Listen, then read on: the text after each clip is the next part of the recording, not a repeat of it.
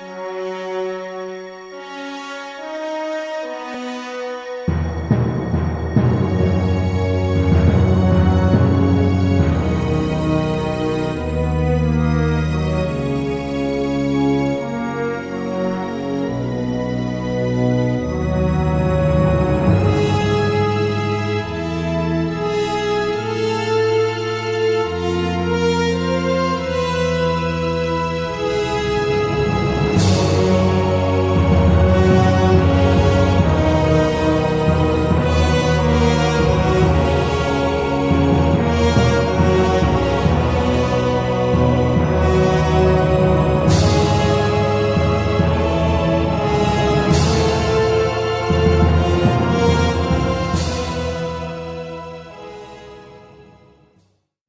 Part one of our series is entitled God's Final Call. In this study, we will examine the first angel's message in detail, and we want to see what the issue really is all about and how we can understand what the issue of worship and how that relates to us. We're going to be using the Bible as our textbook, and in using the scriptures, we need divine wisdom. We need divine enlightenment and divine aid. So join me as we begin with a word of prayer before we start our study. Our loving Father in heaven, we come in Jesus' name and ask that Thou grant us the promise of Thy Spirit to lead us and to guide us into all truth. We seek to understand and desire to comprehend spiritual things, and we know that spiritual things are spiritually discerned. Grant us that Spirit, Father, for we pray and ask in Jesus' name. Amen. God's Final Call. This title comes from the final book of the Bible the book of Revelation. In Revelation, we read about the three angels' messages, which is the theme of our series. The three angels' messages is the last call of mercy to a perishing world before Jesus comes. We know that because immediately after the giving of the three angels' messages, we see a scene of Jesus Christ coming in glory to take his people home. Today we want to focus on the first angel's message, and we find the first angel's message in Revelation chapter 14, and verses 6 and 7. Let's read it together. Verse 6 says, And I saw another angel fly in the midst of heaven, having the everlasting gospel, to preach unto them that dwell on the earth, and to every nation and kindred and tongue and people. Here we see this message has a worldwide scope. It's a message that goes to the whole world. It's a message that is called the everlasting gospel. What is this everlasting gospel? What is it about this message that will go to the whole world that the Bible calls the everlasting gospel? Let's read the next verse and find out. Verse 7 it says, Saying with a loud voice, Fear God and give glory to Him, for the hour of His judgment is come, and worship Him that made heaven and earth and the sea and the fountains of waters. This message that is called the everlasting gospel deals with the very important issue of worship. It's an issue that is so vital that the salvation or the damnation of those who hear this message is dependent. It's vital to understand the subject of this message. Who is it that we are called upon to fear? Who is it that we're called upon to give glory to? And who is it that we must worship?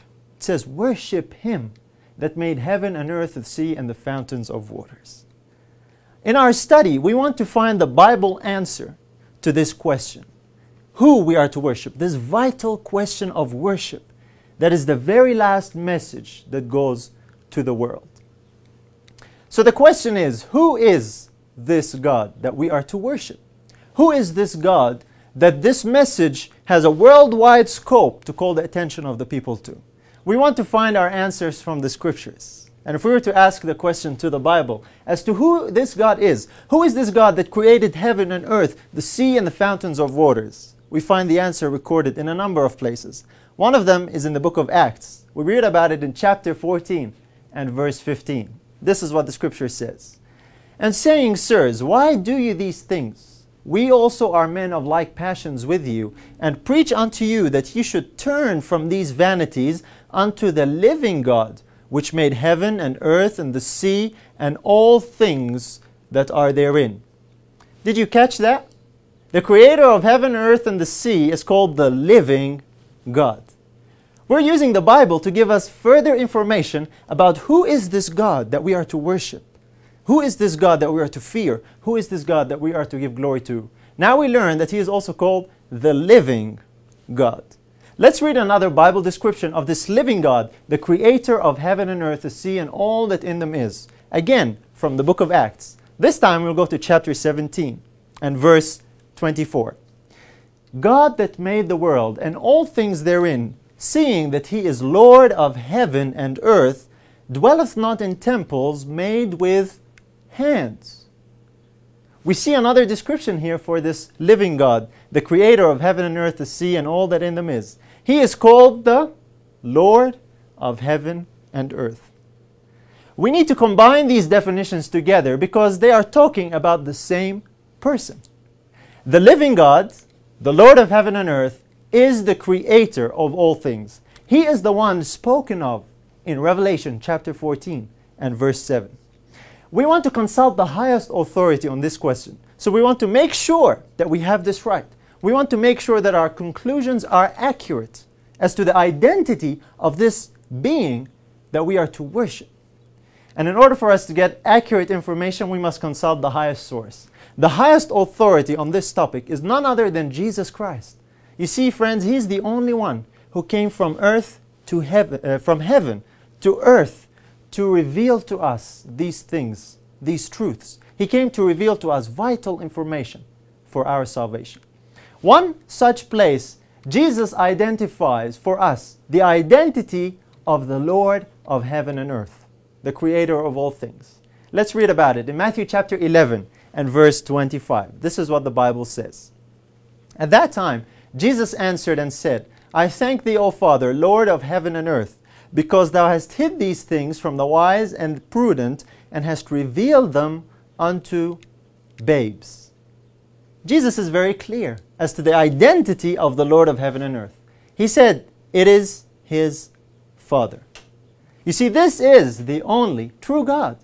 This is an identification from the Lord, Jesus Christ Himself, the highest authority on this topic. We read a confirmation of that in another Bible passage in John chapter 17 and verse 3, where we see Jesus identifying for us who is this only true God. Praying to His Father, Jesus says in verse 3, And this is life eternal, that they might know Thee, the only true God, and Jesus Christ, whom Thou hast sent.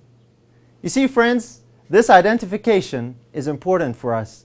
What we're doing is we're using the scriptures and allowing them to interpret and define for us the terms that it uses. And in our search, we are seeking to locate the identity of the person spoken of in Revelation 14 7. And we found, according to Jesus, it's the Father. He is the Lord of heaven and earth. He is the only true God. And that last characteristic or that last description that we read of, Him being the living God, we can read about and find how that is confirmed in the book of Thessalonians. We turn to 1 Thessalonians chapter 1, verses 9 and 10. And it says there, For they themselves show of us what manner of entering in we had unto you, and how ye turned to God from idols to serve the living and true God, and to wait for his Son from heaven, whom he raised from the dead, even Jesus, which delivered us from the wrath to come. We see here a very important combination of descriptions. The Father, the living God, is called the true God. He's the one that has a son. We know beyond a shadow of a doubt that the identity of the person spoken of in Revelation 14, verse 7, is none other than the Father. You see, it's the Father who is the only true God. It's the Father who is the living God. And it's the Father who is the creator of heaven and earth, the sea, and all that in them is. He is the Lord of heaven and earth. And so the first angel's message that calls upon the world to worship God, give glory to Him, is speaking about the Father. We need to find this clearly in the scriptures because it's confirmed in many, many other places. Jesus Christ, of course, gave us this information, but we see that Christ elaborates on this further because He is the only one that knows the Father best. He is the only one that is most acquainted with the identity and the character of his Father, the only true God. We know that because it's recorded in Matthew chapter 11 and verse 27. Notice what it says All things are delivered unto me of my Father, and no man knoweth the Son but the Father, neither knoweth any man the Father save the Son, and he to whomsoever the Son will reveal him. You see, Jesus Christ is the one that knows the Father best. And the purpose and mission of Jesus Christ in coming from heaven to earth was to reveal to us the Father so that we can truly worship Him. You see, the problem in the world today is that the whole world has been deceived over the issue of worship. That's why God sends the final message to the world, and this message deals with who we worship. That is why it's vital for us to understand who we are to worship. And it's vital for us to have satisfactory, complete, solid information, and we find that from Jesus Christ Himself. We're going to look at an incident in the life of Jesus where He clarifies and elaborates for us on this question a little more. One day, Jesus was asked a question by a scribe. I like the stories of when Jesus is asked questions because many times the Pharisees and the elders would try and trick him by using difficult, cornering questions. And it's amazing to see the wisdom of Jesus Christ in answering these questions. One such day, a scribe came to Jesus. We know that a scribe worked as a copier of the scriptures. You see, at the time, they did not have printers or photocopiers. If somebody wanted a copy of the scriptures, a scribe had to actually sit down and write it out. and this scribe, we find, came to Jesus with a question about a very important topic. We read about this story in Mark chapter 12. In Mark 12, beginning with verse 28, see what the Bible says. And one of the scribes came, and having heard them reasoning together, and perceiving that he had answered them well, asked him, Which is the first commandment of all? What an important question. Which is the first commandment of all? The scribe here, of course, was referring to the commandments and instructions that God gave, not just the Ten Commandments. From the Old Testament scriptures, in copying them time and again, the scribe had come to learn the basic foundation of the gospel. And he was using this knowledge to try and test Jesus by asking the question, which is the first of all the commandments? Jesus then answers him, and in his answer, Jesus pinpoints one particular area of the Old Testament. He begins his answer with a specific verse, and he quotes it from the book of Deuteronomy. Let's continue reading in Mark 12 and see what Jesus said. And Jesus answered him, The first of all the commandments is, Hear, O Israel, the Lord our God is one Lord. Isn't that amazing? Of all the passages and scriptures at the hand of Jesus from the Old Testament, he pinpointed to one passage that's Deuteronomy chapter 6 and verse 4. This is the passage he selected. Hear, O Israel, the Lord our God is one Lord. This is the foundation, and this is the first of all the commandments. This is vital because this foundation forms the basis on which we can build the rest of what Jesus said. Notice carefully what Jesus said, and then we'll analyze the verse a little closer. Jesus continues by saying, And thou shalt love the Lord thy God with all thy heart, and with all thy soul, and with all thy mind, and with all thy strength. This is the first commandment. And the second is like, namely this Thou shalt love thy neighbor as thyself. There is none other commandment greater than these. You see here the principle of loving God and loving our neighbor is based firmly on a very important foundation. That foundation is knowing something, is knowing that the Lord our God is one Lord. You see, many times if we were to, if we were to ask the question, to many Christians today as to which is the first commandment, the most common answer is to love God and love our neighbor, which is true. But in order for us to love God, we must first know which God. We must have the identity of who will receive our love, who will receive our praise and our adoration. Who is it that we are to give our firmest loyalties to? That's why a very important foundation before we can love God is to know who He is. Jesus begins by identifying that foundation. He tells us the most important thing is to know something that the Lord our God is one Lord. Based on this knowledge, we are to love this one Lord with all the heart, soul, mind, and strength, and to love our neighbors as ourselves. This is a vital principle in the scriptures. The identity of the God that we worship is important. Otherwise, we end up in a confused worship. We worship what we do not know. That's why the angel's message in the last book in the Bible that we're studying today deals with true worship directed to the true God. That's why it's important for us to identify who is this true God. This is really what the issue is all about in the last days. Who is it that we're going to worship? How is it we, that we're going to worship Him? When is it that we're going to worship Him?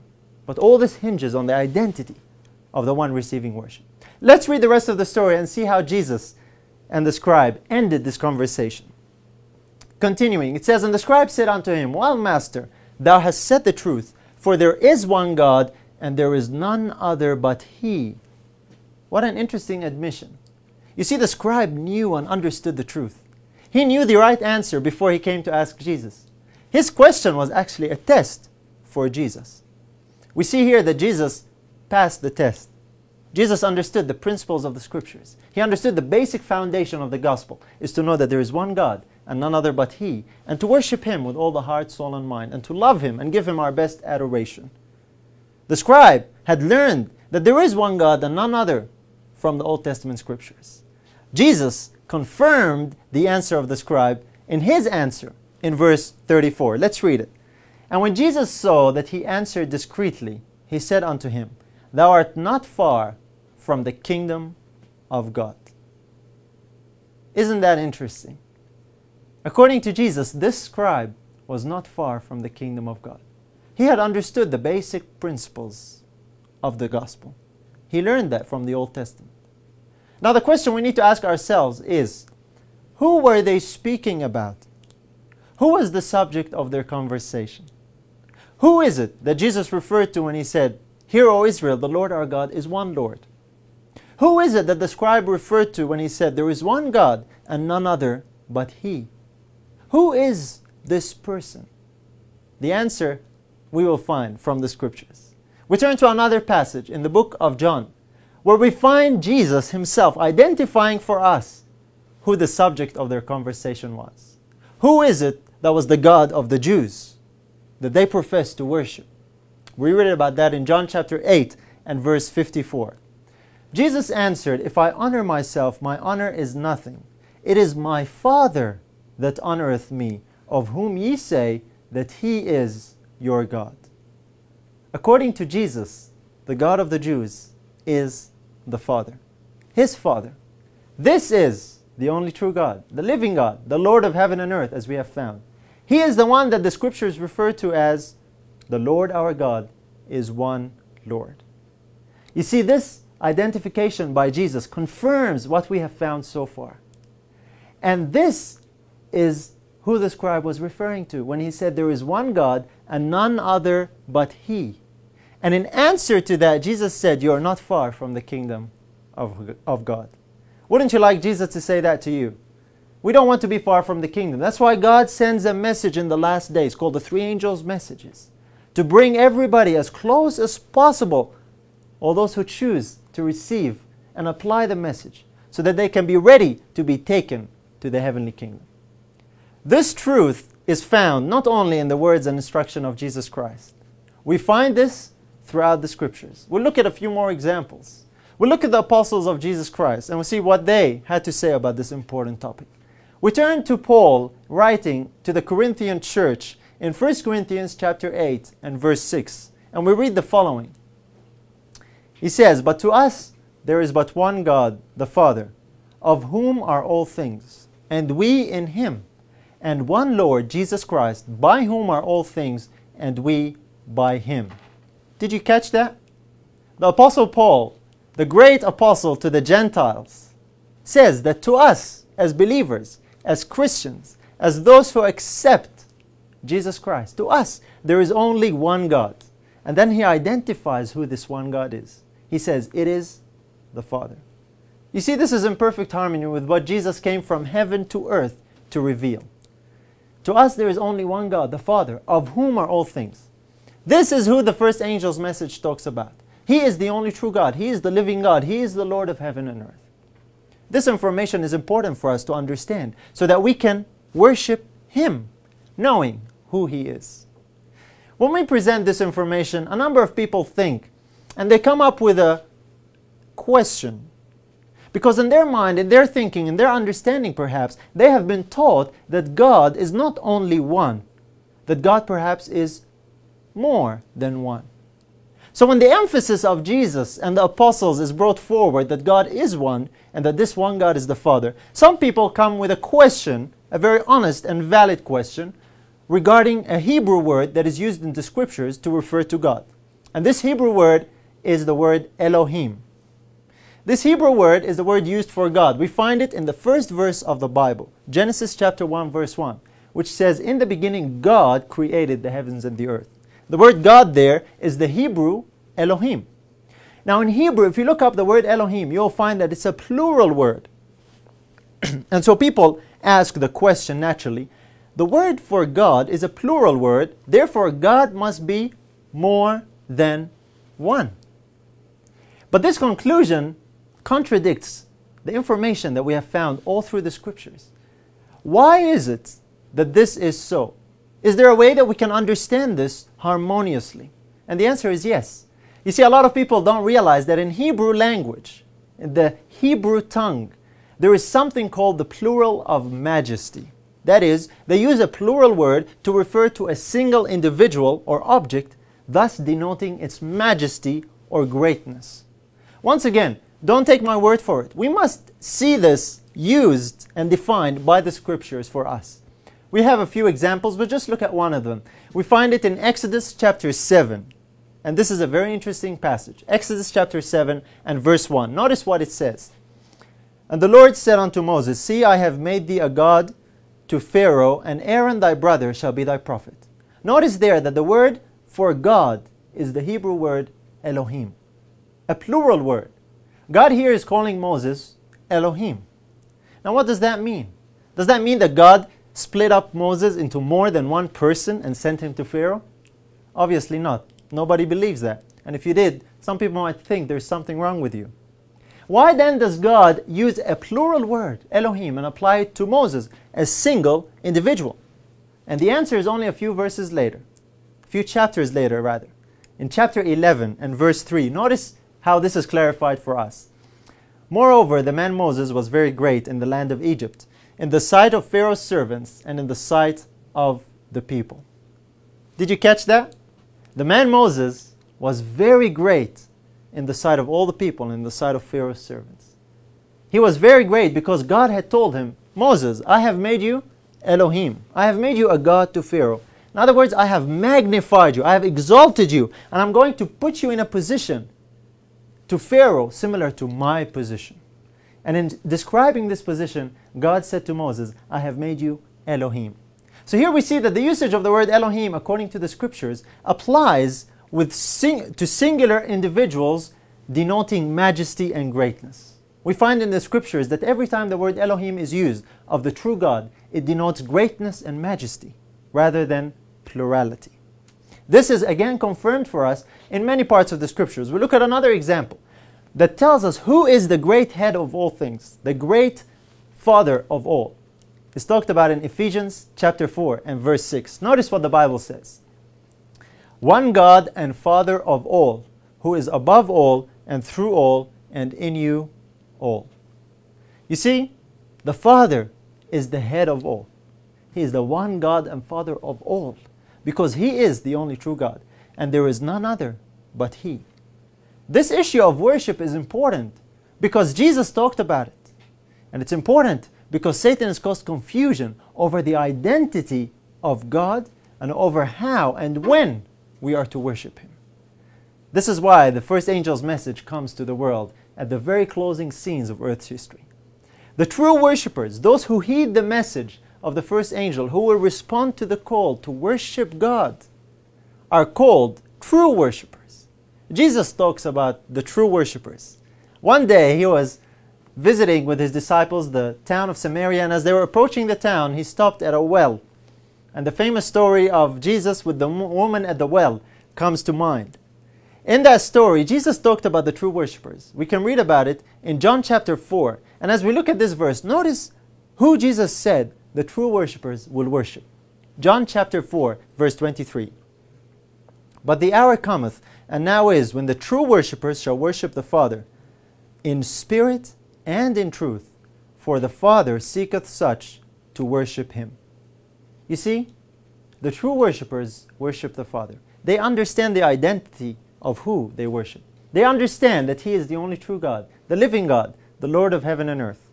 That's what the first angel's message is talking about. I know that is your desire to be a true worshiper so that you can be ready when Jesus comes to take the true worshippers who worship God in spirit and truth home. It's important to understand how we are to worship this true God. How is it that we can worship the Father? How can we approach the Father? What is the way, the correct way to do this? The answer is given to us by Jesus Christ Himself. You remember what He said in John chapter 14 and verse 6. John 14, 6 is a beautiful verse. It says, Jesus saith unto him, I am the way, the truth, and the life. No man cometh unto the Father but by me. You see, Jesus Christ is the only way to the Father. Only through Jesus Christ can we come to the Father. And this extends to our worship. So, in order to worship God aright, we must not only know who we are worshiping, that's the Father, we must also know how we can come to the, to the Father. What is the way that we can come to the Father in worship, in praise, in prayers, and in thanksgiving? And the answer is Jesus.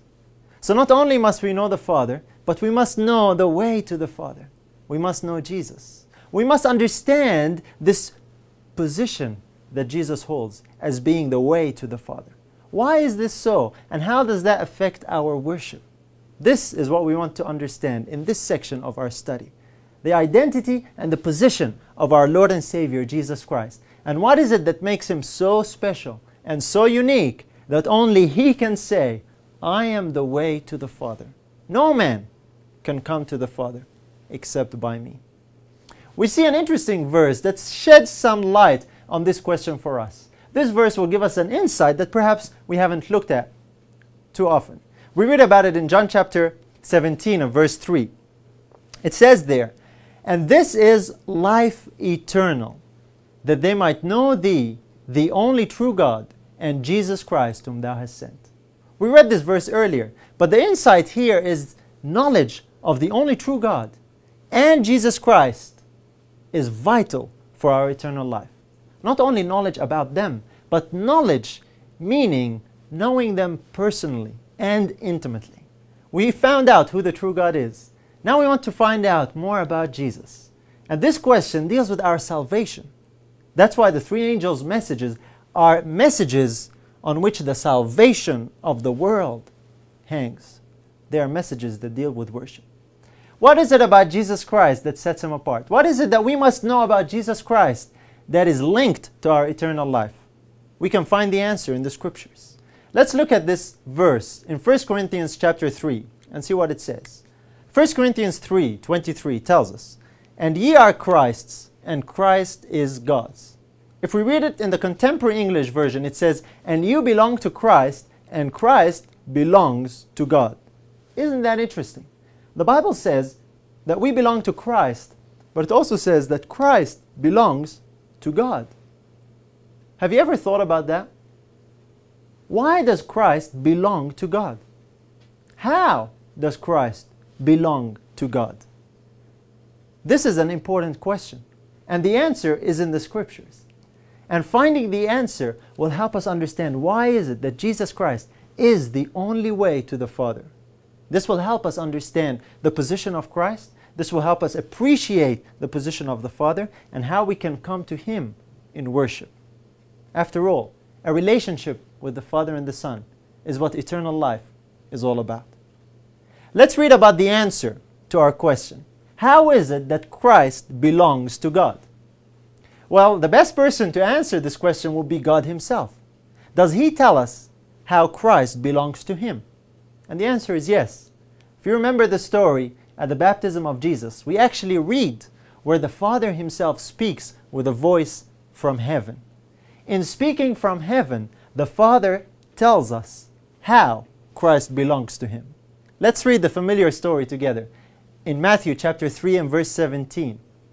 And lo, a voice from heaven saying, This is my beloved Son, in whom I am well pleased. Isn't that beautiful? The Father says, This is my beloved Son. You see, friends, this is how Christ belongs to God. He belongs to God because He is His Son. The Father Himself said those words. You see, this issue is very important. How Christ belongs to God, the fact that He is His Son.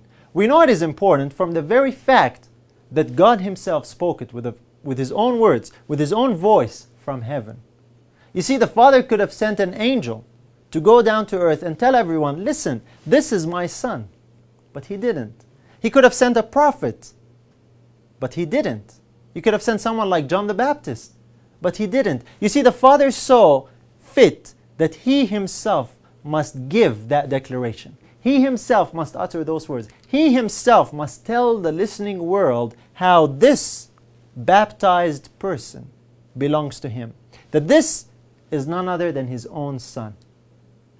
This is confirmed for us because we find that God says the same thing on another occasion. We find a very similar account where the Father himself speaks with a voice from heaven. If you search the New Testament, you will find that it is not very common where the Father himself speaks with a voice from heaven. He rarely does it. He actually does it a number of times that can be counted on one hand only. He only does it three times. Don't you think that with so free, uh, so few times where the Father speaks, don't you think that he has something important to say? I certainly think so. And we find that because he repeats the same information. Let's turn in our Bibles to Matthew chapter 17 and see what the Father says in that story at the Mount of Transfiguration. Matthew 17 5.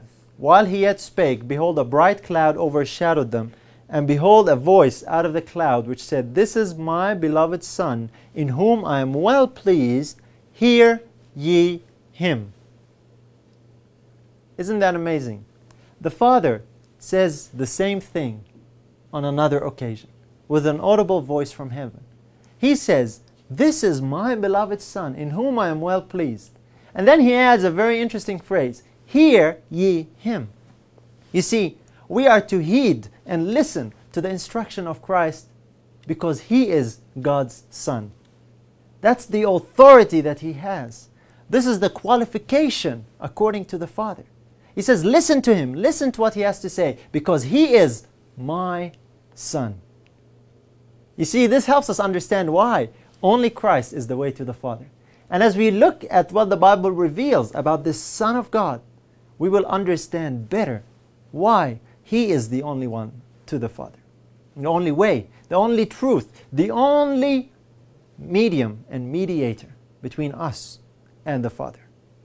So the identity of Christ, we have heard it from the Father's lips, the highest authority of all, the living and true God, the one God, and none other but He. Let's see how Jesus himself identified who He was. We read about that in John chapter 10 and verse 36. Notice what Jesus says. Say ye of him whom the Father hath sanctified and sent into the world, Thou blasphemest, because I said, I am the Son of God? You see, Christ here identified himself as the Son of God. The Jews, of course, were not happy with that. They wanted to stone him. He did not deny the truth that the Father declared. He knew who he was, and he declared who he was to the Pharisees. And this caused their anger, as we shall see in a few minutes. So Jesus identified himself as the Son of God in harmony with what the Father said. This is a double witness that we really do not need to add any more to. There should be no question in anyone's mind as to who Jesus is. And yet, there are many people who question. There are many people who don't really understand what the scripture means when it says the Son of God. This is what we want to uncover today, and this is what will help us understand the unique position of Christ.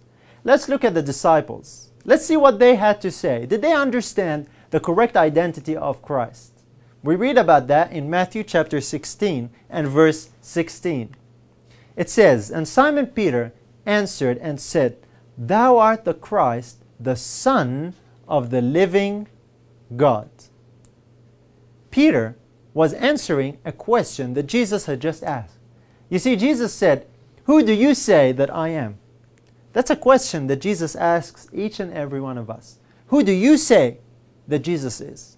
Do you understand who he really is? Do you understand his identity? Do you comprehend the meaning of who Christ really is? That's the question. And Simon answered that statement and that question of Jesus with that famous answer Thou art the Christ, the Son of the living God. You see, the disciples understood the identity of Christ. This was so important that if we read a little later in the same chapter, a few verses later, we find that Jesus says he is going to build his church on this rock.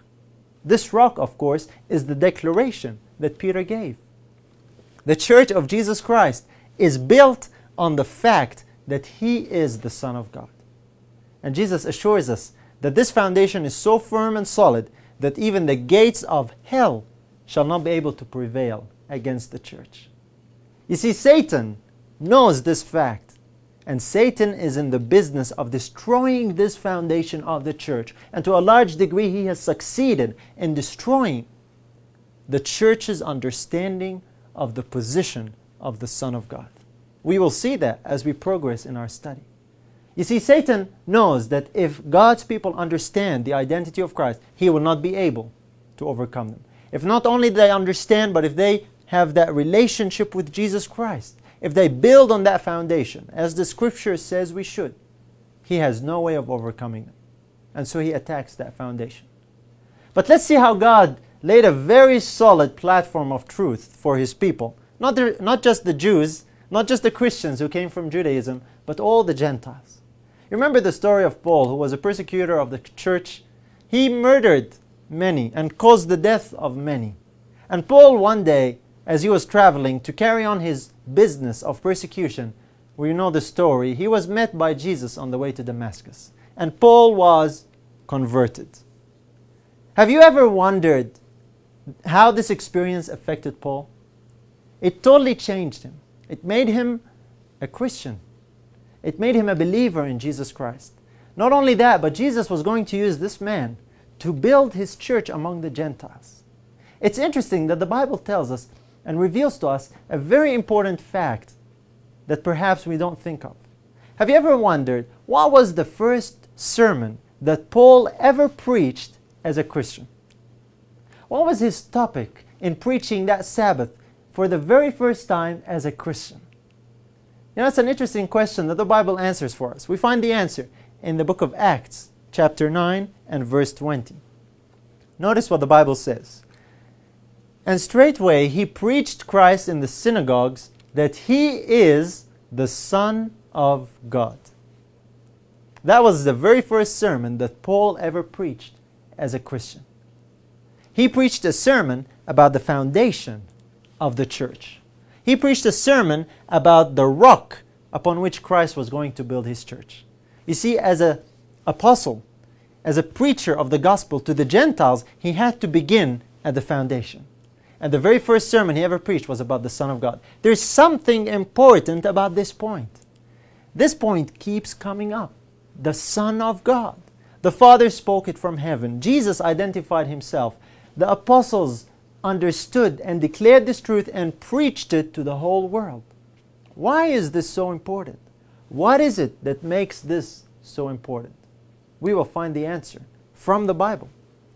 Not only were the disciples and the apostles understanding this truth.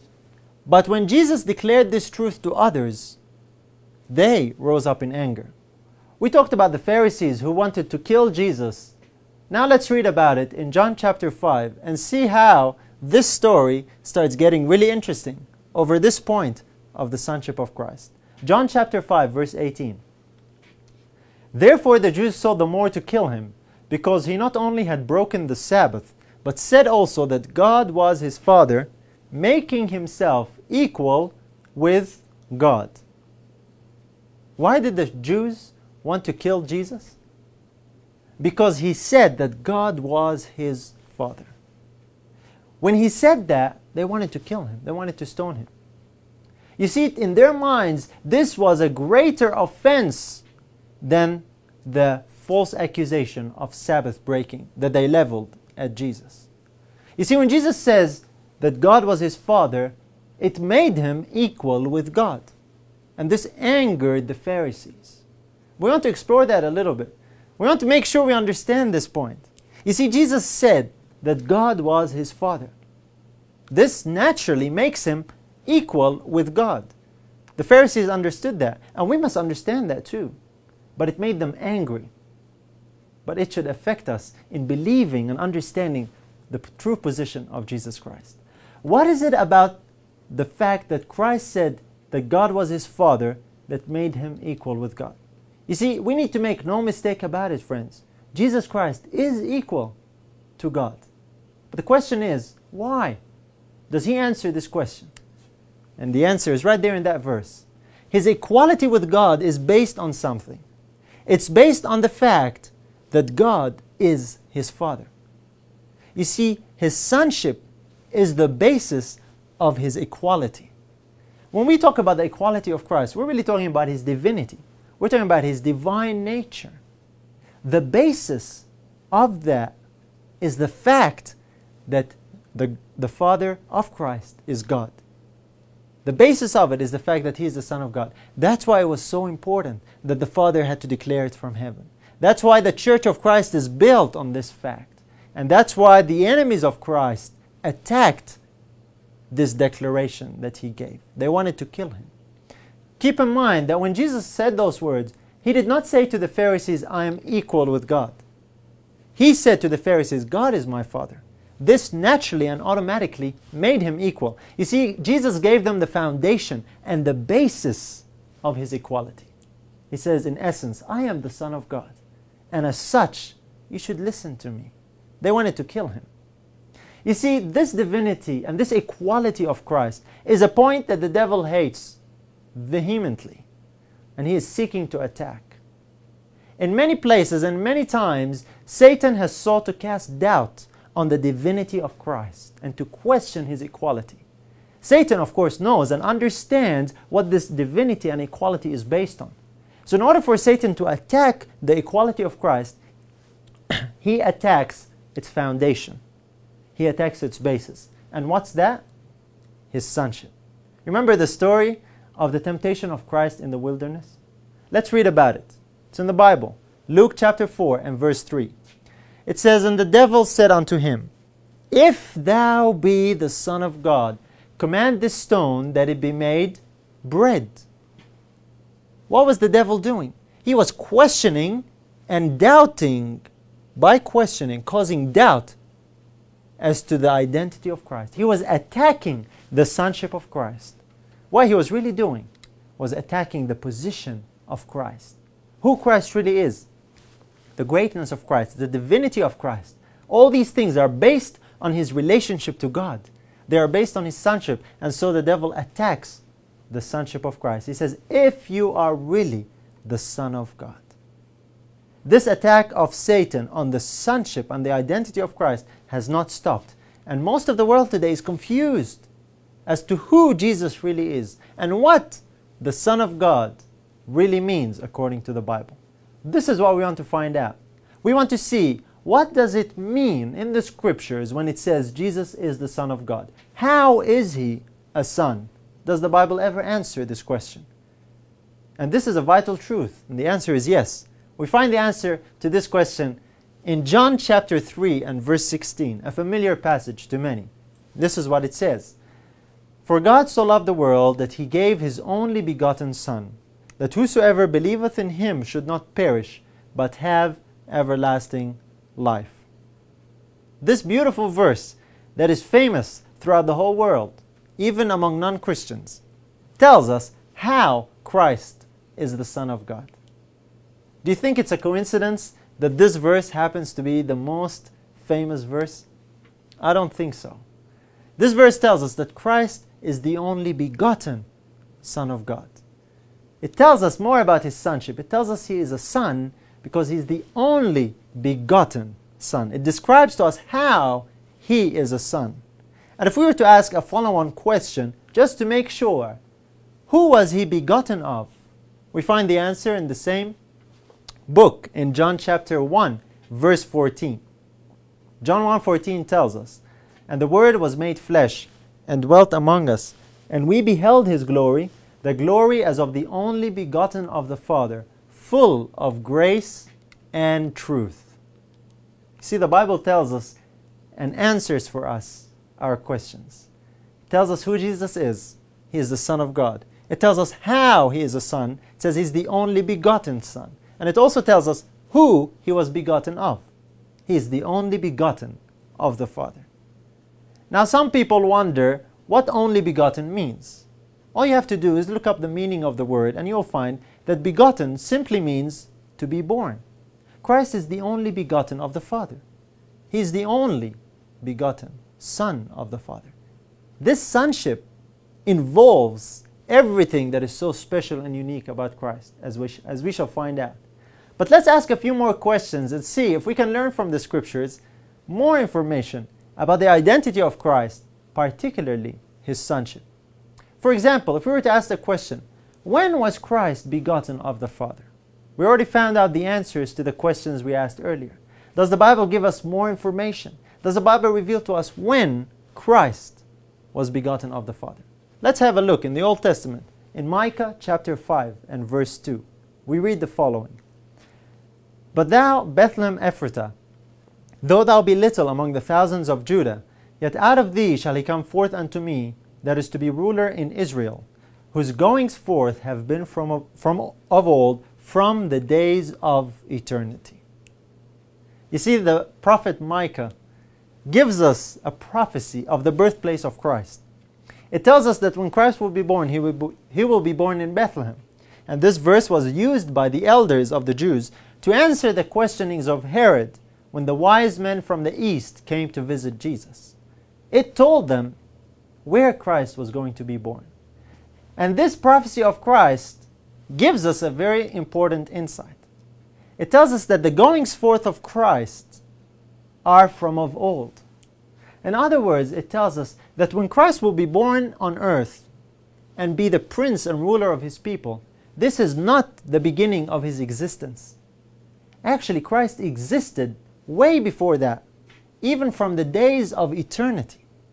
And if we look up the Hebrew meaning for the expression goings forth that Micah uses, we will find that it means family descent. In other words, Micah is pointing us into the past, is pointing us into the eternity of the past to look for the family descent of Christ. This tells us plainly that Christ already was the Son of God way before Bethlehem. Let's look in that direction that Micah points us to. Let's go to the past and see does the Bible give us any more information about things that happened in the past, way back from the days of eternity, that deals with answering this vital question? It's interesting that the answer is found by the wisest author of the scriptures. God selected the wisest man who contributed to writing the scriptures to help us answer this question. We find the answer in the book that Solomon authored, the book of Proverbs, chapter 8, and we'll begin reading from verses 22 to 25. Let's read and see. The Lord possessed me in the beginning of his way, before his works of old. I was set up from everlasting, from the beginning, or ever the earth was. When there were no depths, I was brought forth. When there were no fountains abounding with water. Before the mountains were settled, before the hills was I brought forth. What a beautiful description. This speaks of something that happened before anything was ever created. You see, it was Christ Himself who was speaking through Solomon. And he was speaking of that most important event. He was speaking of the time when he was brought forth. You see, Christ, under the title of wisdom, which is a title of Jesus Christ, according to 1 Corinthians 1 24, as wisdom, and under that title, Christ was speaking through Solomon. And Solomon was recording for us this most wondrous and amazing event. How that Christ was brought forth from the Father before anything was created. Notice that it doesn't tell us the details of how this takes place. And it would not be wise for us to speculate and try and understand that which God has not revealed. But it does reveal to us very clearly that this event took place before anything was ever created. That the Lord possessed Christ and that Christ was brought forth before anything was ever created. And that's what makes Christ the only begotten Son of God.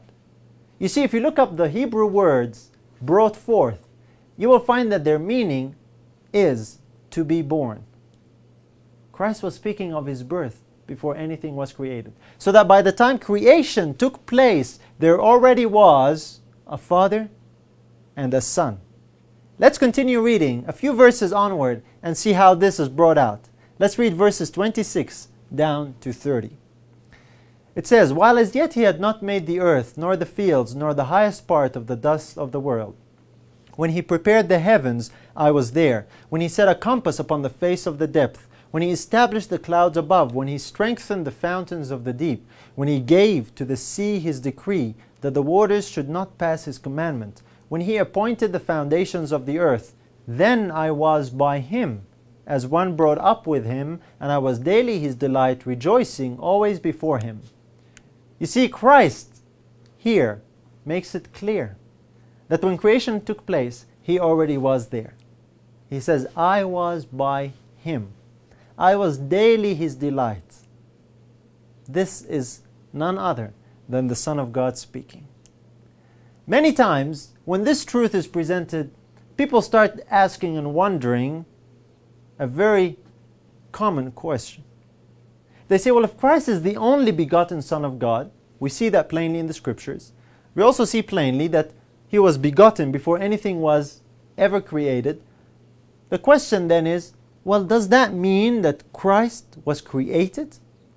And the answer is a definite no. You see, the word begotten does not mean created. We can use the scriptures to find the answer. Let's see how the Bible reveals a distinction, a very clear distinction between what begotten means and what created means. And this will help us understand the unique position that Christ holds as the only begotten Son of God. To help us see the distinction, God gives us information relating to these two words. Let's read in Ezekiel chapter 28.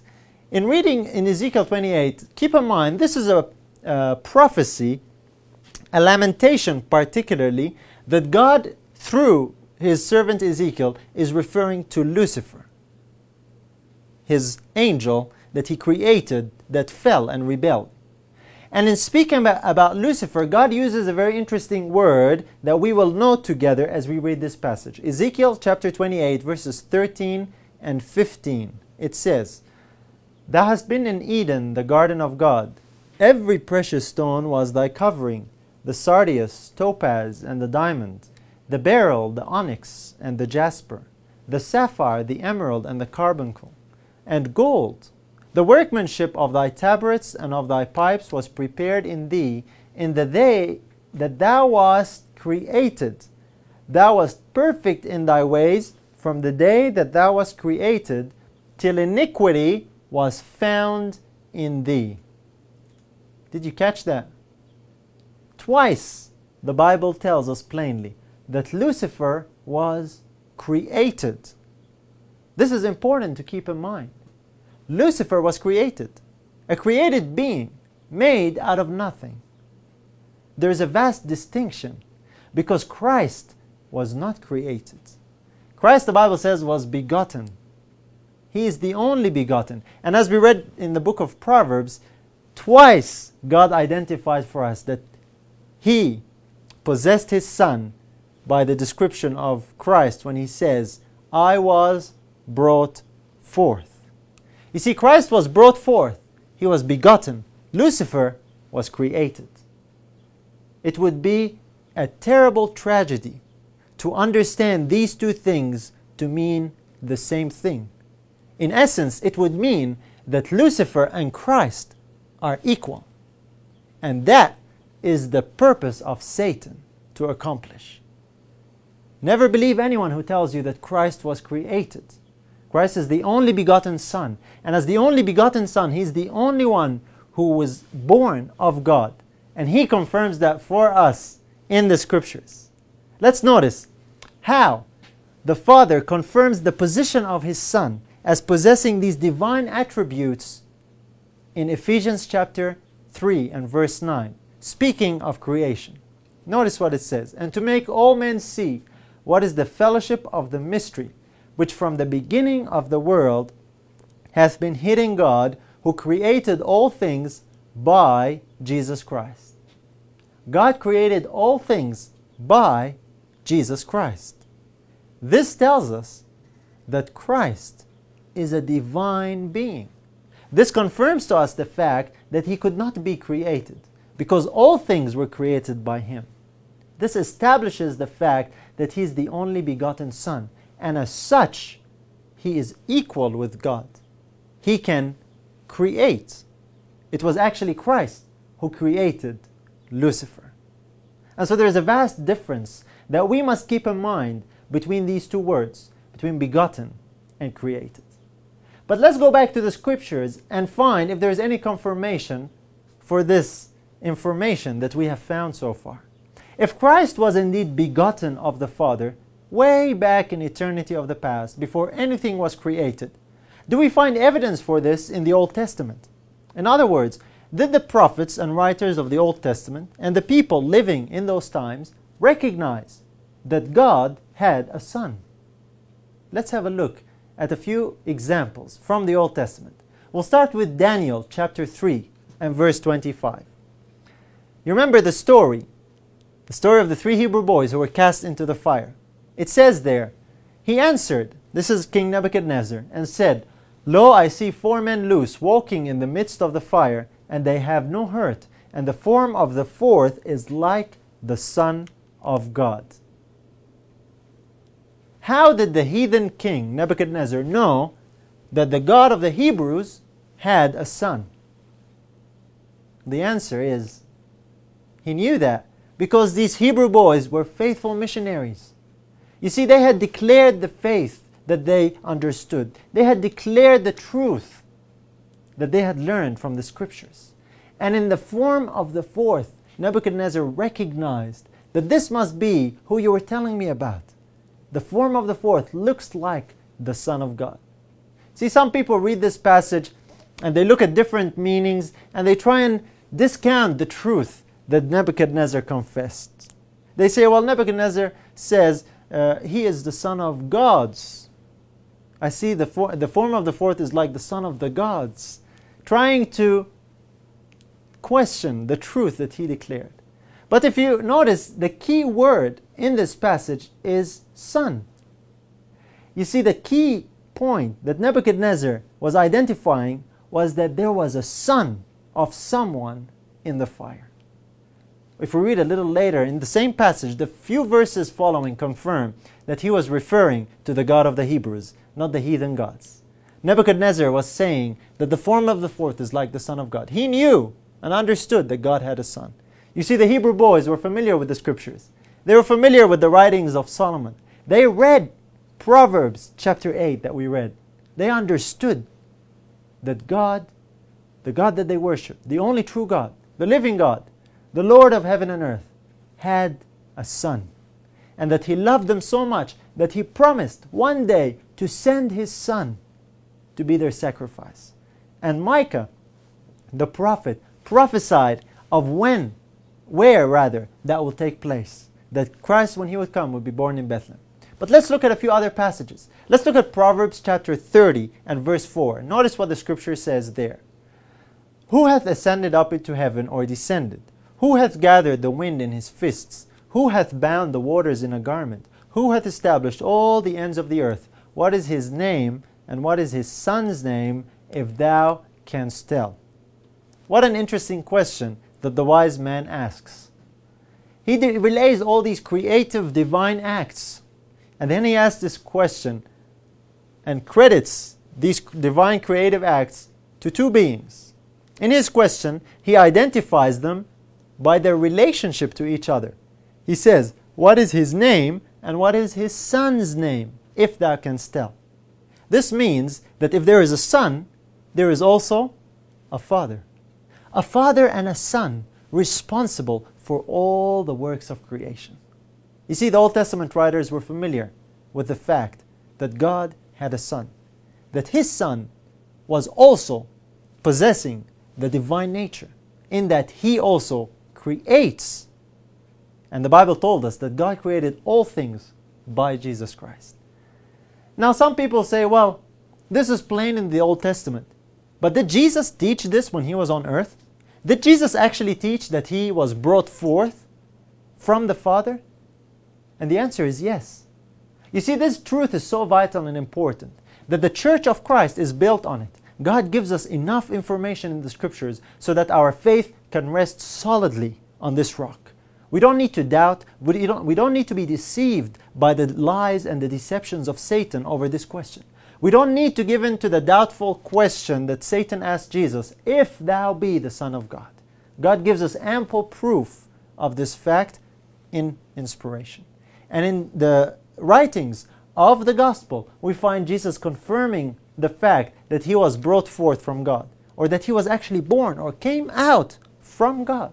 Let's read a few examples. Our first one is in John chapter 8 and verse 42, and it says, Jesus said unto them, If God were your Father, you would love me, for I proceeded forth and came from God. Neither came I of myself, but He sent me. You see, friends, Jesus clearly taught the truth of who he is. He says that he proceeded forth and came from God. If you look up the meaning of that word in the Greek, you'll find that it confirms exactly and harmonizes with everything that we have found. That he was really brought forth out of the Father. He proceeded forth. He came out of God. The only way we can relate to that is how the word begotten is defined also as being born. Now we need to be very careful because the Bible gives us this information and does not go further. It doesn't tell us the exact details of how Christ proceeded forth and came from God. And we need to be mindful of the scripture which tells us that the secret things belong to the Lord our God, but those things which are revealed belong to us and to our children, that we might keep the words of this law. God has revealed for us clearly that Christ is his only begotten Son. He gives us enough information to confirm and to clarify and establish that his Son was not created, but that his Son actually proceeded forth and came from him. And he stops there. And we can only go as far as God goes and stop there, knowing that our faith is established on the firm word of inspiration. This is not the only place that Jesus spoke about that. Let's look at another passage in the book of John, chapter 16, verse 27. Says, For the Father himself loveth you, because ye have loved me and have believed that I came out from God. You see, the love that the Father has to the disciples is because of something. Because they believed something. They believed something that the Jews refused to acknowledge. They believed that Christ came out from God. That simply says that Christ is the Son of God. You see, Jesus taught that truth very plainly. His disciples believed it and understood it, and Christ actually lost his life because he did not deny this fact of who he really was. Why is this so important? Why are we stressing this aspect of the identity of Christ and particularly his sonship? Remember, Jesus said, I am the way and the truth and the life. No man cometh to the Father but by me. In saying this, Jesus excluded everyone else. And we saw that the identity of Christ as the Son of God is to the exclusion of everyone else, in that the scripture says he is the only begotten Son. Nobody else is in that position. And Christ being the only begotten Son means something. Now we're going to see at what that means and how that affects Christ in making him hold that unique position that nobody else holds. You see, if Christ is the Son of God, did he inherit anything from his Father? That's a good question that the scripture addresses. The answer we can find it in Hebrews chapter 1 and verses 3 and 4. Speaking of Christ, it says, Who being the brightness of his glory and the express image of his person, and upholding all things by the word of his power, when he had by himself purged our sins, sat down on the right hand of the majesty on high, being made so much better than the angels, as he hath by inheritance obtained a more excellent name than they. Christ is the express image of the Father's person. He is all the brightness of His glory and majesty. And then it tells us that what sets Christ apart from the angels, what sets Christ higher than the angels, is the fact that He has something by inheritance. You see, Christ, being the only begotten Son of God, means that he has an inheritance. Well, what does he inherit? The answer is right there, we just read it. He has a more excellent name by inheritance. Well, what name might that be? None other than the name of his Father. If you study the word name in the scriptures, you will find that it means a number of things. It doesn't just mean the designation of who someone is. Name in the scriptures means character. Name in the scriptures also means authority. We know that because when Moses was asking God and he said, Show me thy glory, God said to Moses, I will declare my name. And in declaring his name, God declared his characteristics. Name means character, it means authority. Jesus said, I am come in my Father's name. That was the backing authority uh, behind him that gave credence to what he said and did. Name in the scriptures also means nature. The Bible says that when God created Adam, he called their name Adam, speaking of Adam and Eve. The word Adam is not only the name of the first man, it's actually the name of the human race. The word Adam in Hebrew actually means human being or the man, the human race. So the word name also signifies nature. Name also means power, means authority, as we said, and it also is the identifying mark of who a person is. Christ, we are told, has by inheritance obtained a more excellent name than the angels. With this understanding, we can start to appreciate the marvelous inheritance of Christ, that he has the authority and the nature of his Father. He has the character and the majesty and glory of his Father by inheritance. That is what makes him equal with his Father. That's what makes him the brightness of his glory and the express image of his person. And that is what Lucifer is attacking. You see, friends, why the sonship of Christ is so important? You see why it's important to understand that Christ is the only begotten Son? Because if we don't, we really rob Christ of his inheritance. Does that extend to other things as well? What about the life of Christ? Does the Bible tell us anything about that? Is that part of his inheritance, being the Son of God as well? The scriptures answer this question for us. In John chapter 5 and verse 26, we notice the answer to this question. It says, For as the Father hath life in himself, so hath he given to the Son to have life in himself. The life that the Father has was also given to the Son to have. Now, what kind of life does the Father have? It's eternal, immortal life. The Bible says that the Son was given that very same life. That's the divine life of the Father. It's given to the Son. It's His by inheritance. And he's the only be sorry, he's the only begotten son.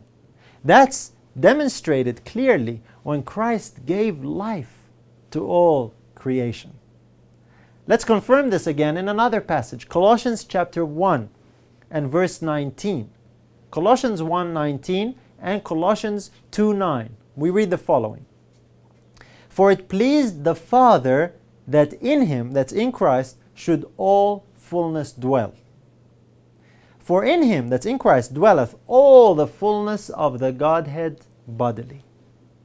You see, all the fullness of the Godhead, all the glory and majesty of God dwells in Christ, and this was pleasing to the Father. Remember what we read in Proverbs together earlier? Where Jesus says, I was daily his delight. You see, Christ was the rejoicing of the Father. And it pleased the Father that in his Son, his only begotten Son, all his fullness and all his majesty and glory should dwell. That is what makes Christ so special. And that is why Christ is the most acquainted with the Father. That is why Christ is the only one who can take us to the Father. That's why he can say, I am the way, and no one else. And we must understand this in order to worship God aright. Don't forget, the key point of looking at this aspect is so that we can have a true conception of God and a true understanding of how we can come to Him in worship. We saw that the Father is the only true God. He is spoken of in John, uh, Revelation chapter 14. And now we see the way to the Father is through His Son. And now we see why it is that the only way is through the Son. Because only Christ is known as the only begotten of God. And only Christ was actually begotten of God. You see, this point establishes for us the position of Christ on equality with his Father. We read about that in Philippians chapter 2 and verse 6. It tells us, Who being in the form of God, thought it not robbery to be equal with God, Speaking of Christ, it tells us that Christ was not only in the form of God, but he was equal with God. We understand now what this equality is based on. It's based on the fact that he is the only begotten Son, that he was brought forth from the Father. That's a divine inheritance that Satan is seeking to steal from Jesus Christ by questioning his sonship. That's why it's important to understand what the scripture means when it says, the only begotten Son of God. But how far does this equality extend? Is Christ really equal to the Father? The answer is yes. And the answer is given to us by the Father Himself. This equality of Christ with the Father, possessing the same divine nature, possessing by inheritance a better name, is revealed to be so encompassing that in Hebrews chapter 1 we see how the Father describes the equality of His Son. Let's read it together and see what that means. Hebrews chapter 1 verse 8. But unto the Son he saith, Thy throne, O God, is for ever and ever. A scepter of righteousness is the scepter of thy kingdom. What an amazing declaration from the lips of the only true God the Lord of heaven and earth, the living God, we hear that the position of His Son is that of divine equality. His Son is called God. Make no mistake about it, friends. The Son of the living God has the divine nature. His Father identifies that by saying, Thy throne, O God, is forever and ever. But now we understand why Christ is called and referred to by that description. Remember, a few verses earlier we saw that Christ has that name by inheritance. This is the divine inheritance of Christ. That's why that passage says, Unto the Son he saith, Thy throne, O God. He is the Son, and his sonship is the basis of his equality. Now, does that mean that we honor Christ less because he is the Son? Certainly not. Christ is equal, and we honor him in the same way that we honor the Father. Jesus told us that in John chapter 5 and verse 26. Verse 23, I'm sorry. John 5 23. That all men should honor the Son even as they honor the Father. He that honoreth not the Son honoreth not the Father which hath sent him. We honor Christ in the same way that we honor the Father. This extends to our worship. Just as we worship the only true God, we also honor the Son in the same way. And as our worship goes through the Son to the Father, It is the way that the true worshippers will worship. You see, in order for Christ to be the way to the Father, he must be in a position where he can receive worship and bring that to the Father. That's why the Bible says we honor the Son as we honor the Father. And remember, we need to honor him as the Son. We need to honor him as he has revealed himself to be, as God in heaven has revealed him to be. And this is vital for our understanding. Let's look at our last question for this program, and we'll see why this is so important. Is it really vital that we understand Christ as the only begotten Son of God? How important is this? The answer is in 1 John 4 15. It says, Whosoever shall confess that Jesus is the Son of God, God dwelleth in him, and he in God. You see, friends, confessing that Christ is the only begotten Son of God is how we can have a relationship with God, and how God can dwell in us and with us, and how we can partake of His nature, as the Scripture says. This truth is so important, and it's come under such attack by Satan, particularly in the last days. That's why God sends a message, the three angels' messages, to alert the world to the true position of Him as the only true God and the only way to come to Him through Jesus Christ. That's why the first angel's message says, Fear God, give glory to Him, and worship Him. And we saw who that is, and we saw how we can come to Him in worship. Only through Jesus Christ. And knowing why Christ is in that position is vital for our understanding of those heavenly things. As we continue in our series, we will look a little closer at how this issue of worship has come under severe attack and confusion by Satan. I pray you'll stay with us. Let's close with a word of prayer as we ask the Lord to send and confirm this truth in our hearts by His Holy Spirit. If you can join me. Our loving Father in heaven, we thank Thee so much in Jesus' name for revealing these vital truths to us. Father, I pray and I ask that each and every listener to this program will receive a rich portion of Thy Spirit to know for himself and for herself if these things are so. We thank Thee, Father, for the great privilege that we have in living in the last days, and for Thy truth that is revealed in the Scriptures, and for Thy Spirit that helps us to understand this truth. We praise Thee and thank Thee in the wonderful name of our dear Savior Jesus. Amen.